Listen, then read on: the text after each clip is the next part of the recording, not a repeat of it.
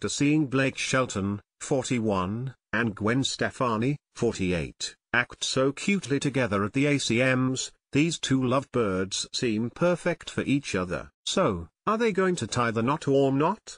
I think about marrying her, Blake said while talking with CMT, giving Gwen Blake shippers a reason to be excited. However, Blake made sure to pull back on the reins. I don't think it's any time soon or anything, he added. The more time that goes by, I guess, the closer you'd be getting to that. So, he does think about getting married, but not quite yet. Funny enough, Gwen also said she was thinking about marriage too. I do.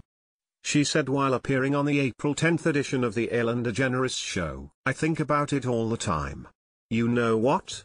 I love weddings, the kids love him, everybody loves him. He's lovable. I think about getting married all the time. So, if he's thinking about it and she's thinking about it, it seems that it's just a matter of time, right?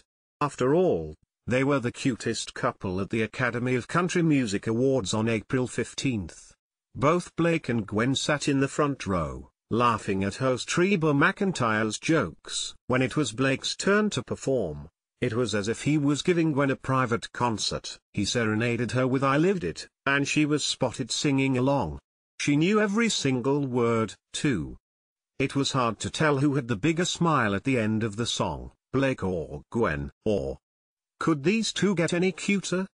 Marriage might have to wait until Gwen completes her Vegas residency. Yes, it's quite easy to get hitched in Sin City, but does anyone expect Blake and the No Doubt singer to get hitched in a ceremony presided over by an Elvis impersonator? Probably not. Who knows, though?